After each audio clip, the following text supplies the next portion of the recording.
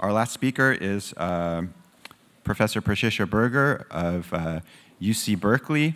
Um, we're very happy to have her um, giving the concluding remarks as uh, as I was saying before, she was really in on the ground floor, or she says maybe the basement, of the exploration of this material, especially from an art historical perspective. Um, you know, um, I'm thinking of uh, essays like her chapter in Latter Days of the Law on the use of Tantric Buddhist art in China, and of course her uh, seminal uh, work, uh, Empire of Emptiness, um, focusing on the Qing period, and of course her very prestigious stable of students, including some of our speakers today. Um, you must be very proud. Uh, so I'd like to welcome Patricia Berger to give our final remarks.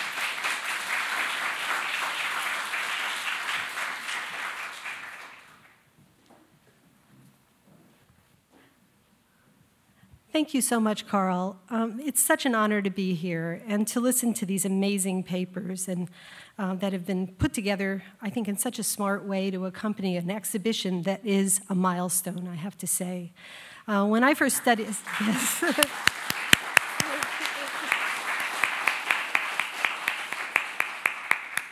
I'm here to tell you that the end is nigh. So um, that means that I'm going to offer my own round of thanks to Carl Debreczeny, among others, for the production of this extraordinary exhibition, uh, which is so thoughtful in the way it's structured that it's yielded all sorts of seeds, I think, that uh, come to fruition in the papers that we heard today. So, beginning with Tsering Shakya's really clear headed and I think extraordinary introduction, which you just did seemingly off the cuff. It was just ex extremely uh, strong, I think, in setting the tone for what followed today, which is a series of papers that I feel I'm completely inadequate to summarize in the time that we have here. Uh, but I would like to say that what emerges from the papers in general are a couple of ideas that I'd like to explore uh, with a story that I'm going to end with. And this has to do with the fact that so many of the papers, in fact, I dare say all of them, have to do with aspects of transmission, of ways of thinking about things, ways of doing things, um, technologies of liberation, ways to obtain advantageous rebirths, magical warfare, as we've seen, used for um, positive ends, we would hope, on the part of those who use them, divination and prophecy, and finally, uh, even gift giving. All of these, it seems to me, in so many disparate places that came up in today's discussion, uh, from Xixia and Tsongkha, Yuan and Ming, and even the Qing dynasty, really seem to point to the importance of the creation of lineage. And so it seems to me very apt then that um, this conference is dedicated to the legacy of Elliot Sperling, who I think we all feel ourselves to be part of his legacy. He was one of the very first scholars who had the linguistic uh, abilities to uh, move into the territory that he explored with such expertise and insight. So I consider myself to be one of his as well, despite the fact that I um, never studied with him. We all read his work, and he is, I think, the person who should be honored here today and is being honored. Now, what I wanted to do um, just briefly is to think about this idea of, uh, of uh, lineage. And uh, again, this is a thread that seems to emerge over and over again how things are transmitted, and the idea of legacy. And to think how um, we can look at all of the ways that lineages were instantiated in Tibet and in the Qing court, especially, and to see them as harking to the past as a way of legitimating the present and also propelling a kind of dynamic into the future. So essentially, they have a, a, a teleological thrust. And that's something I wanted to think about today because empires can't exist only in the present, but they require a kind of systematic and even institutionalized planning for future events that are characterized, for example, in the Qing, where the control even of such things as waterways included sophisticated engineering and planning and the propitiation of appropriate deities. Even Rolpe Dorje uh, participated in some of the work on the Yellow River, for example. So no stone was left unturned in the great empires that um, took this body of knowledge and turned it into a political weapon, in a sense. Now, in, from the perspective of Buddhism, particularly the forms that are practiced in Tibet, uh, there are also potent views of the future. So I think it was this that had great attraction for Qianlong, who has been the focus of my research for a very long time. And it is this that uh, Johan Elverskog, who isn't here today, but who wrote a, uh, the final essay in the catalog for the exhibition, um, talks about as a, involving a pair of seemingly very distinct scenarios in the larger Tibetan cultural sphere uh, of a kind of end of days. So, this idea of the end is nigh is really what I'm uh, pointing to here, uh, where we have one story that concerns the future Buddha Maitreya. And um, let's see if I can find how to do this again. Yes whom you see here on the left, uh, established in the Yonghegong in Beijing. And on the other hand, a very different uh, type of scenario.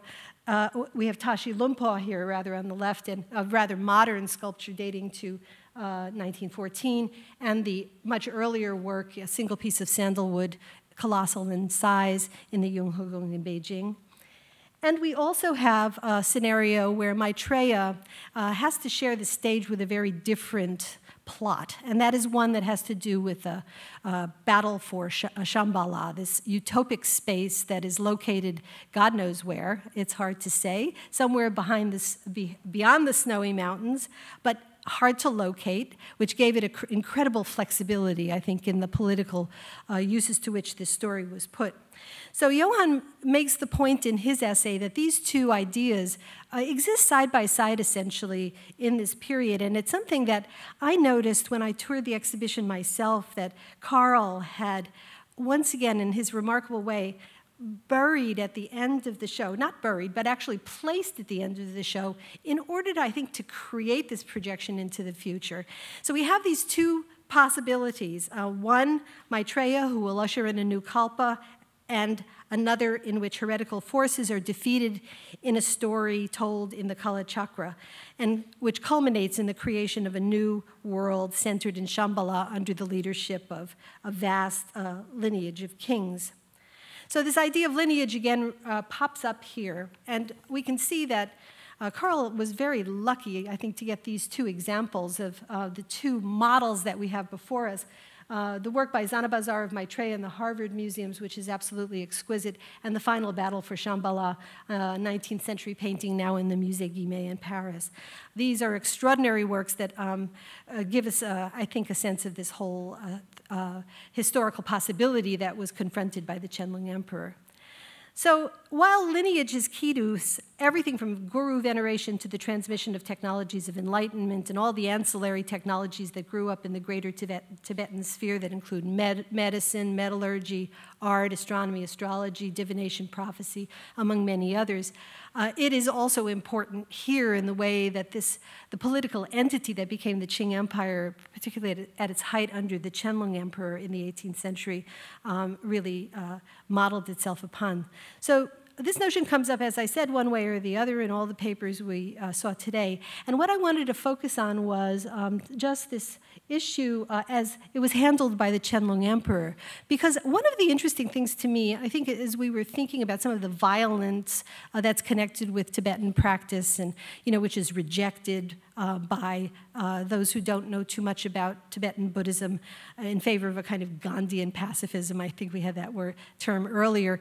Um, all of these things, I think, were things that were well known to Qianlong, and he uh, faced these two systems, I think, with a certain degree of ambivalence. And so I'd like to talk about that just a bit. But first, let's uh, just take a look at another uh, painting of Shambhala. This is a tanka. Uh, it's a little uh, bled out in terms of color here on the screen. This one's in the Rubin Museum. It also dates to the 19th century, and it has the characteristic uh, format of these types of paintings where we have uh, the kingdom of Shambhala with one of the uh, one of the kings in the center, surrounded by the various uh, rings of countries around. Uh, while in the bottom, we have this battle, which uh, shows the final king of Shambhala battling the um, uh, heretics, and in this case, returning to Williams' paper. These are probably intended to be Muslims, and this is something that um, Johan makes a very good uh, argument for in his final chapter in the catalog. So, thinking about this, and um, just give you another example, uh, just show you a detail of the uh, bottom. You can see this is typically staged this way. And I find this one extremely interesting because it talks, I think, in a really interesting way about the flexibility of this story. Here you see the major generals in the center on their steeds and they're charging forward. They're all wearing heavy armor. The uh, heretics are uh, over here on the side. And there are these marvelous um, uh, moments where here you can see, for example, a cannon, which is, seems to be cast out of iron or uh, some sort of a iron uh, alloy, is shooting off uh, what um, Bryan Cuevas has uh, given us this term, uh, cake bombs. So here they go, uh, headed in the direction of the figures over on the side. There are also swords, so he's totally loaded this um, in a way that is impossible to avoid, I think. Um, the idea is that this is the culminating moment. At the end of this moment, everything is going to change and there will be a, uh, a whole new world that presents itself. Now, in this case, we already see in this a painting dating to the 19th century the introduction of new technologies. Um, Dan Martin, years ago, wrote a wonderful article about how Jesuits who knew how to cast um, metal to make cannons actually collaborated with Rolpe Dorje in some of the magical warfare. He, um, he uh, instituted against uh, the uh, people living in the Jinchuan region in western China and was victorious. So the cannon is an important aspect of uh, the story that I wanted to um, unfold uh, quickly here. Uh, whoops. But here is another one, and oh, this is really not visible at all. I'm so sorry. It was bad when I put it in the PowerPoint, but it's worse now. Um, this is an interesting painting in the National Museum of in, uh, in Prague that dates to the late 19th and early 20th centuries, which literally can only be dated by virtue of the fact that on the side here, let me just go back again. Hmm. On the side, on the right side, uh, there is a group of soldiers whom you can't see here, so you're going to have to take my word for it, but they're wearing modern Russian uniforms. So the Kala Chakra and the story of Shambhala actually was so flexible that it could really be revitalized at any moment and fitted into a, a scenario where some design for the end of days was going to be necessary. Now we know that Qianlong's interest in the Kala Chakra was early. Actually, um, in the uh, 1750s, probably in 1751, we know that he wrote to the seventh Dalai Lama, or he had Rolpe Dorje write to the seventh Dalai Lama to request this, that a specialist in Kala Chakra be sent to Beijing. Uh, this was just shortly after the establishment of the Yonghe as a um, monastery, as we heard in Yulan's paper, uh, and with a college that included Kala Chakra studies. So Kala Chakra was ensconced there.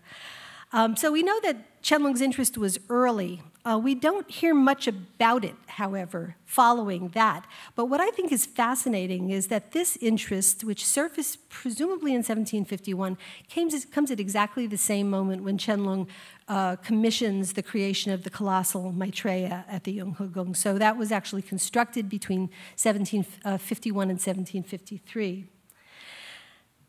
I'd like to turn to another gift, um, and this fits into uh, Rigshak's uh, paper. And actually, I was getting a little nervous because I thought you were go going to actually steal my, um, my anecdote here um, because you were getting dangerously close with those clocks. but this has to do with a visit of the, um, of the sixth Panchen Lama to Beijing in 1780. And as you may know, um, he vigorously resisted earlier invitations to go to Beijing because he was worried that he was going to die of uh, smallpox, which unfortunately is exactly what transpired. So he saw this as a possibility.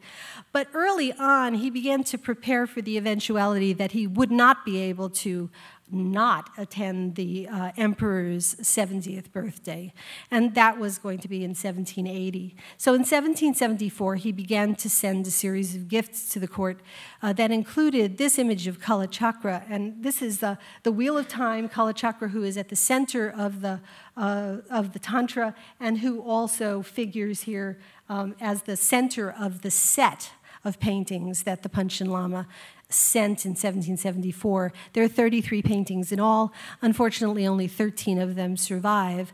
But what's interesting about them is that they constitute a set that would fill an entire room. This isn't at all unusual. The Panchen Lama also sent other sets of similar um, importance, I think, in uh, determining how time had unfolded in the past, and that included his, a set of his own lineage portraits. So the lineage portraits that um, he sent were duplicated I would have to say dozens of times at the Qing court prior to his arrival in 1780, um, when he finally decided to come. Uh, and it got so bad, in fact, that the court ran out of appropriate mounting materials for these duplicate tankas. And so, in, as you can see here, this one is mounted with a typical imperial uh, series of bands, so it's very elaborate. And all of the other ones in this set are likewise. Uh, so Qianlong actually ordered then his workmen to duplicate these brocaded silks uh, by painting them. So just to create dozens and dozens of these sets, so wherever the Panchen Lama went, he could encounter a hall that was filled with his lineage. So this was, I think, a very important strategy on his part.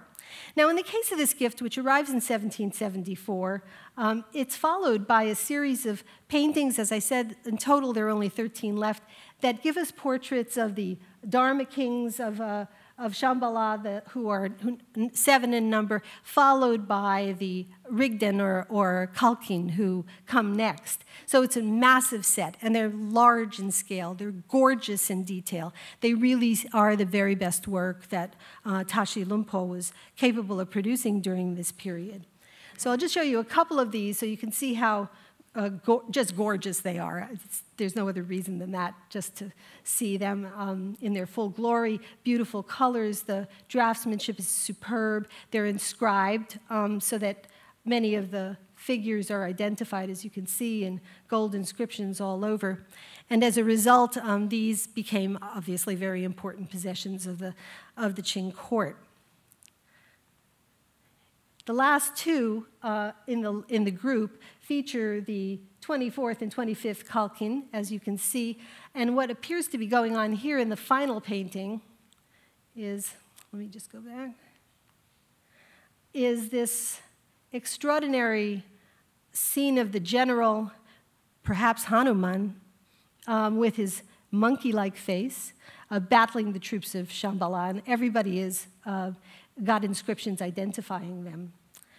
So what we have then is a set that essentially begins with Kala Chakra, placed in the center and ends with this image of uh, the last Kalkin who will presumably bring the uh, moment when Shambhala will be liberated and where, when a new epic is going to begin.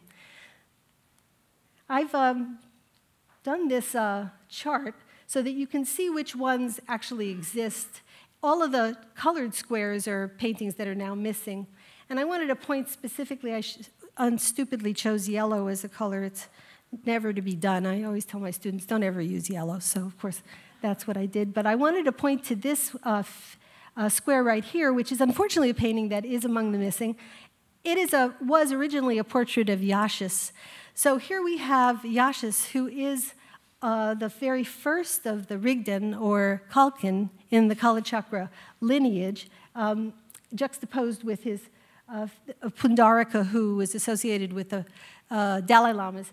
Uh, Kalkin, this um, Yashis actually appears also in the um, pre-incarnation lineage of the Panchen Lama. So I wanted just to point out that here we have this incredibly interesting move on the part of the Panchen Lama where he's inserted himself into a lineage. Um, he's been in, or been inserted into a lineage that is a different lineage from the one that leads to him becoming the Panchen Lama. So this is a fascinating moment where he's a member of two separate lineages, both of which uh, are incredibly important politically. We can see this also um, already appearing in uh, the series of models done at Nartang and woodblock print form in the early 18th century, uh, where Yashis is again uh, seated here on the left in the woodblock print. He is the second of the pre-incarnations of the Panchen Lamas, and again appearing in a 20th century uh, silk brocade that was done in Hangzhou at the Dujinsheng Silk Factory uh, as a gift to the ninth Panchen Lama to remind him of his extraordinary lineage. So all of this weaves together in a very interesting way in Rilpe Dorje's uh, biography, which was written by his disciple uh. And I wanted to turn to that now as a way of concluding this anecdote to say, and here's where I was getting nervous, because we have the gift, which uh, Rig Shakya already told us about, of a, a, matchlock and a sword that was given by the Panchen Lama when he arrived in Beijing in 1780. Um, I likewise do not have the actual one. I don't know whether they, have been identified or not. But these are two from the Royal uh, Armories Museum in Leeds that are from Tibet, and they are both uh, of the period. This one, on the sword on the bottom, is slightly earlier. It was this gift that actually created an incredibly interesting moment of ambiguity and ambivalence, I think, in the Qianlong court uh, because of the way it was understood.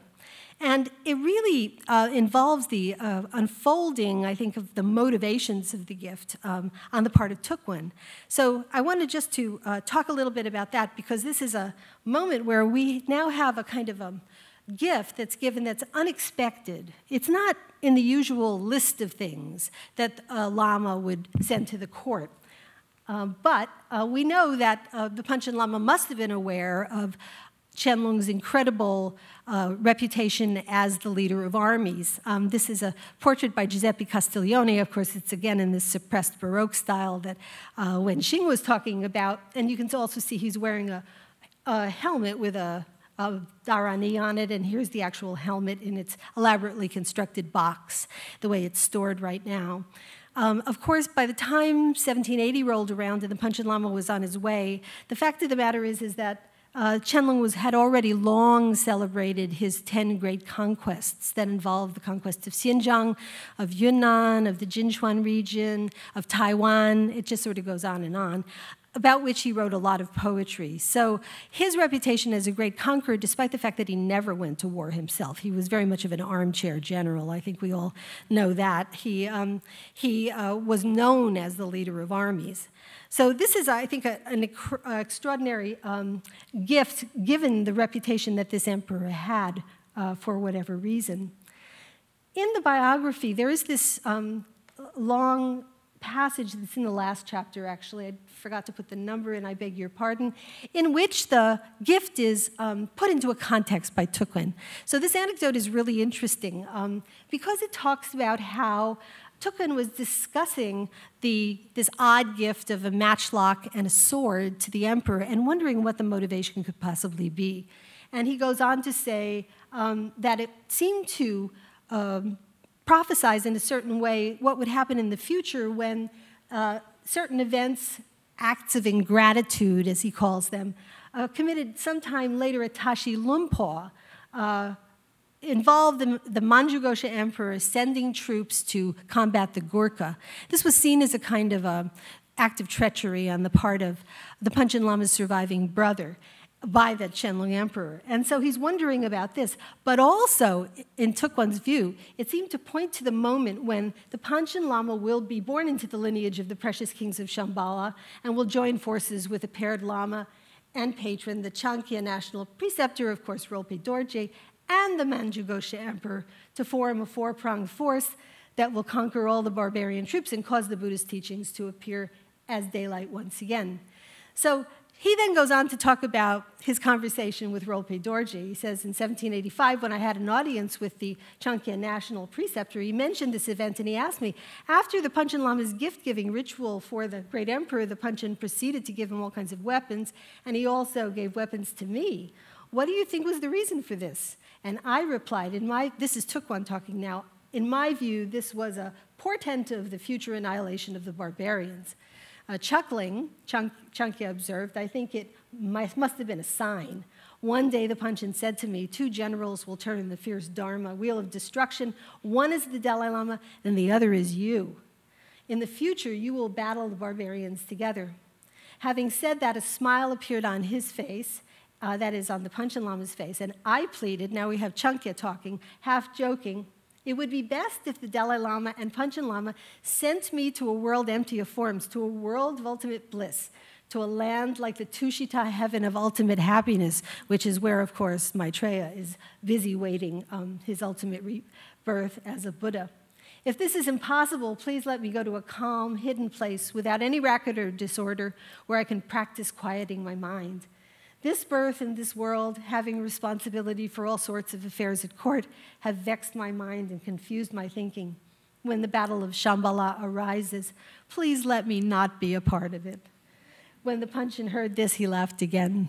So I think here we have to see this gift as a first foray on the part of the Panchen Lama, which was not capable of being followed up, to see if Qianlong could be enlisted into his vision of a new future that would begin with the destruction uh, of the forces threatening Shambhala.